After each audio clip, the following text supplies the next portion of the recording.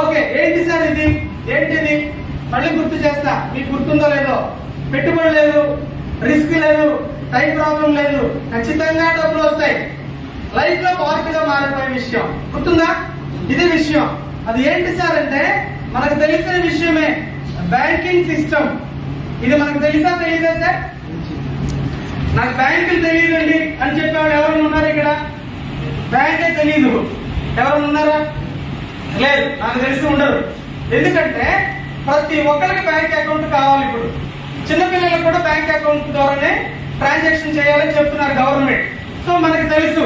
దీనికన్నా ముఖ్యమైన విషయం ఏంటి తెలుసా? బ్యాంకులు మనకు తెలుసు అంటే కారణం ఏంటో తెలుసా? మనం డబ్బులు వాడతాం మనీ వాడతాం. ఈ మనీ కానీ మన దగ్గరకు వచ్చేది ఎలాగా?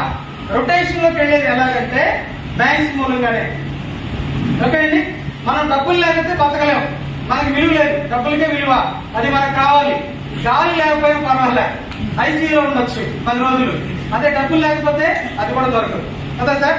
అంటే డబ్బులు లేకపోతే లైఫ్ లేదు. డిసైడ్ అది.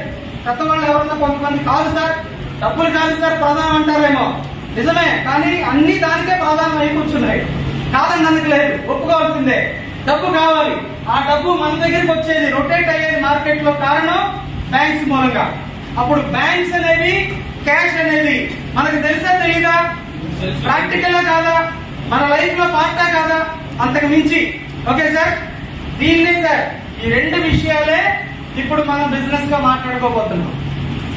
ఇదే బిజినెస్గా మాట్లాడుకోబోతున్నాం. మనకు తెలిసిందే. అయితే పాయింట్ ఏంటంటే ఇప్పుడు బ్యాంకులు ఎలా మారాయి? బ్యాంక్స్ ఎలా మారుతున్నాయి చూద్దాం. ఎట్లా అంటే డిజిటల్గా మారిపోతున్నాయి బ్యాంక్స్. కరెక్టా? బ్యాంకులు డిజిటల్గా మారిపోయాయి. బ్యాంకులు మాత్రమే నా ఫ్రెండ్స్? డిజిటల్గా మారుతున్నాయి. బ్యాంకులు ఒకటేనా ప్రతిదీ కూడా డిజిటల్గా మారిపోతా ఉంది. పల్లెటూరుల దగ్గర నుంచి పట్టణాలు అన్ని ఏరియాస్ గవర్నమెంట్ ప్రైవేట్ అన్ని డిజిటలే. కారణం ఏంటంటే ఇండియా డిజిటల్ ఇండియా మిషన్లో ఉంది. కదా? ప్రపంచం మారిపోతే ఇండియా కూడా మారిపోతా ఉంది. పల్లెటూర్లు డిజిటల్ చేసేస్తున్నారు. పట్టణాలు డిజిటల్ చేసేస్తున్నారు. మార్కెటింగ్ తీసుకోండి డిజిటల్. ఎడ్యుకేషన్ తీసుకోండి డిజిటల్. బైజూస్ చెప్తున్నారు. టీవీ ఆన్ చేయగానే ఏం చెప్తున్నారు? మీ పిల్లల్ని చదివించుకోవాలంటే బైజూస్ డౌన్లోడ్ చేసుకోండి. బాగా నాలెడ్జ్ వస్తుంది. ఈజీగా చదువుకుంటాడు అని చెప్తున్నారు. కరోనా వస్తే ఎక్కడ చెప్పారు ఎడ్యుకేషన్? ఎక్కడ ఇచ్చారు? దాంట్లో ఇచ్చారు. కదా? అప్పుడు ఎడ్యుకేషన్ ఏమైపోయింది? డిజిటల్. ఎల్ఐసి ఏం చెప్పారు? ఎల్ఐసి చాలా పెద్ద ఇండస్ట్రీ ఇండియాలో డిజిటల్గా ప్రాక్టీస్ చేశారు సినిమా ఫీల్డ్ ఏమైపోయింది? ఎంత పెద్ద ఫీల్డ్ తెలుసా అది? రంగం. అది కూడా ఏమైంది? డిజిటల్ అయిపోయింది. మనం యూజ్ చేస్తున్న బ్యాంకులు ఏమైపోయింది డిజిటల్ అన్ని డిజిటల్ మయమే డిజిటల్ డిజిటల్ సార్ నాకు వయసు అయిపోయింది సార్. నాకు చదువు లేదు. నేను కూలి పని చేసుకుంటున్నాను. అని ఎవరన్నా చెప్తే అది వర్కౌట్ అవుతుందా? అవరు ఎవరైనా సరే మనిషి అన్నవాడు ఇప్పుడు డిజిటల్ గానే మారాలి. మారాల్సిందే. Okay sir? అదే విషయం. ఇప్పుడు బ్యాంకులు డిజిటల్ అయినాయి. మన మన బిజినెస్ ఏంటి? బ్యాంకింగ్ అండ్ కరెన్సీ ఇది రెండే చెప్పా. కదా? ఈ రెండింటి గురించి మాట్లాడుకుందాం. బ్యాంకులు డిజిటల్ అయినాయి అంటే ఎలా అయినాయి సార్? ఎట్లా బ్యాంకులు డిజిటల్ అయినాయి? డిజిటలైజేషన్ జరిగిపోయింది వాడేస్తున్నాం. కానీ అది ఎలా అయిందో తెలియదు చాలా మంది ఎలా అయిందంటే ఇప్పుడు మనం ఏమి యూజ్ చేస్తున్నాం సార్? డబ్బుల్ని ట్రాన్స్ఫర్ చేయాలంటే జీపే ఫోన్ పే పేటిఎంస్ అవునా? ఇవి వాడుతున్నాం. ఇవి వచ్చేసి ఇవి రాకముందు కొత్తగా వచ్చినప్పుడు ఏమన్నారు? వాటి జోలికి మనం వెళ్ళకూడదు. మారిన వాళ్ళు అది. వాళ్ళకి కానీ మన బ్యాంక్ అకౌంట్ లింక్ ఇచ్చామా? మన డబ్బులు ఎగిరిపోతాయని చెప్పి. అవునా సార్? భయపెట్టారు కదా? చదువుకున్న వాళ్ళు కూడా. మరి ఇప్పుడేమంటున్నారు? జీపే లేదా ఫోన్ పే లేదా? ఎక్కడ ఉన్నావరా నువ్వు అంటున్నారు అవునా ఏ కాలంలో ఉన్నావరా? కానా కానా అంటున్నారా లేదా? ఎందుకు తెలుసా? పెద్ద పెద్ద వ్యాపారాల్లో అదే పెద్ద పెద్ద మాల్స్కి వెళ్ళండి అవే చిన్న చిన్న బిజినెస్ వెళ్ళండి అవే ఫుట్పాత్కి వెళ్ళండి అదే కదా సార్ టీ స్టాల్కి వెళ్ళండి అదే కాయగూరలు అమ్ముతున్నారు వీధి వీధులకు వచ్చి వాళ్ళు కూడా అదే టెంపుల్కి వెళ్తాం మనం టెంపుల్కి వెళ్ళి డబ్బులు వేస్తాం దేవుడి దగ్గర. అక్కడ ఏమంటున్నారు? ఉండి లేవు సార్. అదిగో ఫోన్ పే జీపే. దాన్ని కొట్టేయండి. అలా సార్. అంతెందుకు సార్? సంక్రాంతికి గంగిరెద్దులు వచ్చారు. గంగిరెద్దులు ఏమి ఇచ్చారు? ఇదిగోండి సార్ జీపే కొట్టేయండి సార్. జీపే కొట్టేయండి సార్. అవునా అంతకన్నా దారుణం. అడుక్కునేవాళ్ళు బెగ్గర్స్. వాళ్ళు జీపే ఫోన్ పేలో కొట్టమని అడుగుతున్నారు. ఏం సార్ ఇది అంటే అప్డేటెడ్ బెగ్గర్స్ సార్? మేమంటున్నారు అప్డేట్ అయ్యారంట. మనం మాత్రం అవనేమో మనం అవ్వం సార్. మనకి చాలా కష్టం. కదా? ఎవడో అవ్వాలా? మనం నడిపించాలి. కదా సార్? అవునా సార్? చాలా సీరియస్. అవ్వండి సార్. ఓకేనా? ఓకే ఇది విషయం. ఇది దీన్ని డిజిటల్ బ్యాంకింగ్ అంటారు సార్. డిజిటల్ బ్యాంకింగ్ క్లియరా ఇంతకు ముందు ఏం బ్యాంకింగ్ ఉంది సార్ అంటే లెక్చర్ బ్యాంకింగ్ డబ్బులు కట్టాలన్నా డబ్బులు తీసుకురావాలన్నా బ్యాంక్కి వెళ్ళాలి క్యూలో నిలబడాలి టోకెన్ ఇస్తారు. నా లెక్కలు చెప్పండి సార్ అంటే పాస్బుక్లో రాసిస్తారు. దట్ వాజ్ లెక్చర్ బ్యాంకింగ్ కరెక్టా సాఫ్ట్వేర్ ఇంట్రడ్యూస్ చేశారు. వద్దు కాదు మాకు వద్దన్నారు. ఇంట్రడ్యూస్ చేసాక ఏమన్నారు? ఏమైంది? నెట్ బ్యాంకింగ్ వచ్చింది. నెట్ బ్యాంకింగ్ మీ కంప్యూటర్ లోనూ డబ్బులు కొట్టేస్తే నా కంప్యూటర్లోకి వచ్చేస్తాయి. గాల్లో డబ్బులు ఏంటి సార్? ఈ గోళ అన్నారు. ఇదేంటి సార్ అన్నారు. దానికే అలవాటు పట్టడం ఆ తర్వాత రోడ్డు మీదకి వచ్చింది ఒక మిషన్. ఏ మిషన్ సార్ అది? డబ్బా మిషన్. డబ్బా. డబ్బాలో డబ్బులు ఏంటి సార్? అన్నారు దాని దగ్గరికి వెళ్ళాలి. కార్డు తీసుకెళ్ళి కింద కొడితే డబ్బులు వచ్చేస్తాయి. కదా సార్ వైరుల్లో డబ్బులు వస్తుంది సార్. తర్వాత ఏమైంది? డిపాజిట్ మిషన్ వచ్చింది రోడ్డు మీదకి.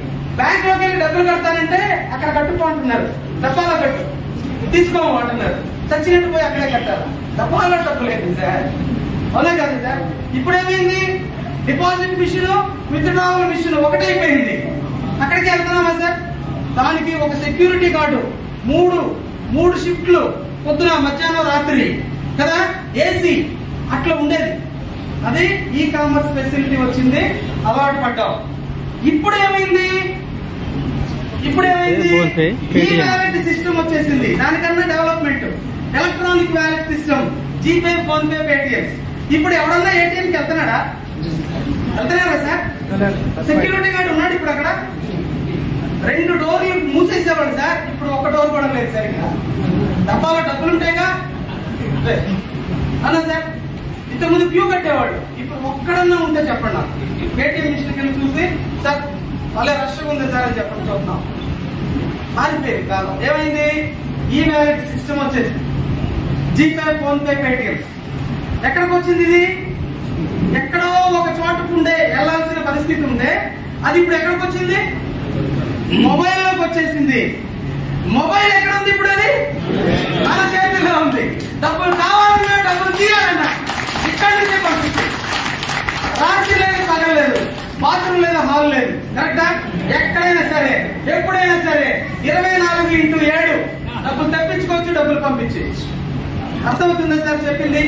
చాలా కనెక్షన్ వ్యాపారానికి నేను చెప్పబోయే వ్యాపారానికి చాలా ముఖ్యమైన విషయం. ఇప్పుడు బ్యాంకింగ్ ఏమైంది సార్? డిజిటల్ అయిపోయింది. ఇది సార్ డిజిటలైజేషన్ అంటే. అర్థమైందా? ఎవరో చేస్తున్నారు మనం ఏదో చేసేస్తున్నాం. కరెక్టే. కానీ ఏం జరుగుతుంది అని తెలియదు. తెలియదు చెప్పేవాడు లేదు. ఓకే బాగుంది సార్. మరి కరెన్సీ ఏమైంది సార్? క్యాష్ ఏమైంది సార్? మనకేం తెలుసు? నోట్లు తెలుసు. నోట్లు వాడుకుంటాం మనం కదా? ఐదు వందలు రెండు వేలు అవి వాడుకుంటాం. కానీ ఇప్పుడేం వాడుతున్నాం? క్యాష్ బదులుగా నోట్ల బదులు ఏం వాడుతున్నాం? నంబర్స్ వాడుతున్నాం కదా? నంబర్స్. అంకెలుగా మారిపోయింది సార్ డబ్బులు. కరెక్టా? ఒక ఎగ్జాంపుల్ చెప్తాను. అమ్మా మీరు మిమ్మల్ని నేను ఒక ఐదు వేలు అడిగాను అనుకోండి. ఐదు వేలు అడిగాను అనుకోండి అంతే ఇవ్వద్దు కదా? ఐదు వేలు అడిగితే ఆవిడ ఏం అడుగుతుంది నన్ను మీ మొబైల్ నెంబర్ ఇయ్యా నా మొబైల్ నెంబర్ ఇస్తే ఎక్కడికి వస్తుంది ఆవిడ? ఆవిడ మొబైల్లోకి వెళ్ళిద్ది. వెళ్ళి డబ్బులు వేసాను చూసుకోండి సార్ అంటారు. అవునమ్మా వచ్చింది అంటారు. ఏమొచ్చింది ఐదు వేలు. ఐదు వేలు వచ్చింది. నిజంగా ఐదు వేలు ఇచ్చిందే సార్ నాకు? ఇచ్చిందా? ఇచ్చుంటే ఏమి నాకు? నోట్లు ఇచ్చి ఉండాల వందలో యాభై వేలో ఐదు వేలో ఏదో ఇచ్చుండాల. కానీ ఆమె ఇవ్వాల. ఇవ్వకుండా ఏం చేసింది? ఇచ్చేది సార్ చూసుకోండి అనేది. చూసుకుంటే ఏముంది తెలుసా నా మొబైల్లో? ఐదు సున్నా సున్నా సున్నా అనే నెంబర్లు ఉన్నాయి. అదే సార్ కరెన్సీ. అదే డబ్బు. అప్పుడు నోటు కరెన్సీ ఏమైంది ఇప్పుడు? నెంబర్ కరెన్సీగా మారిపోయింది. నెంబర్ కరెన్సీ ఏమంటారు? డిజిటల్ కరెన్సీ అంటారు. అవునా? మనం వాడుతుందేనా ఇది? జరుగుతుందేనా? సో ఇప్పుడు మనం ఎలా ఉన్నాము అంటే మనం వాడే బ్యాంక్ మనం వాడే కరెన్సీ చాలా అవసరం. ఇవి రెండు కూడా డిజిటల్గా మారిపోతే మనందరం దీన్నే వాడుకుంటున్నాము. క్లియరా సార్? క్లియరా ఎందుకు సార్ జరుగుతున్నాయి ఇట్లంతా? ఎందుకు జరుగుతుంది? ప్రపంచం అంతా డిజిటల్ అయిపోయింది. బ్యాంక్ డిజిటల్ అయిపోయింది డబ్బులు డిజిటల్ అయిపోయింది డిజిటల్ డిజిటల్ డిజిటల్ అంటున్నారు. అంతా డిజిటల్ మయమే అంటున్నారు. కారణం ఏంటి సార్? కారణం ఏంటంటే ఒకే ఒక కారణం. అదేంటంటే ప్రపంచంలోకి ఇంటర్నెట్ వచ్చింది. ఇంటర్నెట్. ఓకే? ప్రపంచంలోకి ఇంటర్నెట్ వచ్చింది. ఆ ఇంటర్నెట్ రావడం మూలంగా అది జనం ఏం చెప్పారంటే ఆ రోజుల్లో ఇంటర్నెట్ అందరికీ సంబంధం లేదు సార్.